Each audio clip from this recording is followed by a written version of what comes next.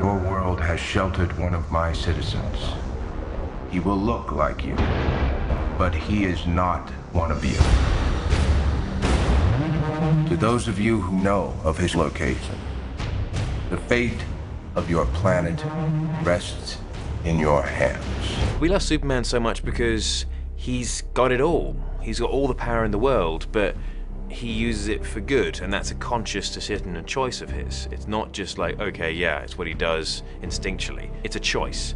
He could be an ultimate bad guy, but he chooses to be the good guy. Clark's up against his own realization of himself, but fighting his own demons as well in a constant place, um, trying to work out whether he can trust humanity or not, and then ultimately, um, the choice between humanity and his own race. To Kal-El, I say this.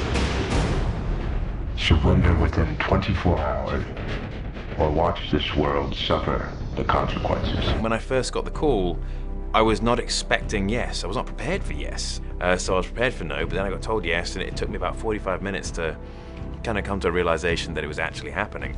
I did a lot of work. I mean, we're talking months, and 11 months total of very, very hard work, uh, sort of most days in the gym, uh, sort of five to six days a week. But you don't want to stay in Superman shape your entire life as an actor because you won't be able to play other roles.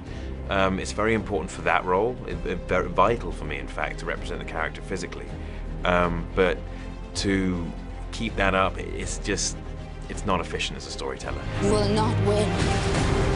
Every human you save, you will kill a million more. It's such an amazing opportunity to work with Zack Snyder and Christopher Nolan and Warner Brothers and David Goyer, and it was just one of those things where you go, this is awesome. It couldn't be any more perfect.